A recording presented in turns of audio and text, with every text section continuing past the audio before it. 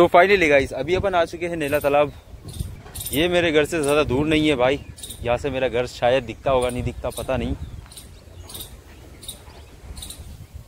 लेकिन यार गाइस ये जो जगह आज आपको जैसी मैं दिखाऊँगा, ये पहले वैसी नहीं थी। ये हाल ही में अभी थोड़े कुछ टाइम में ऐसी बनी है। अच्छी बनी है। बहुत अच्छा हमको सिखा रिया है।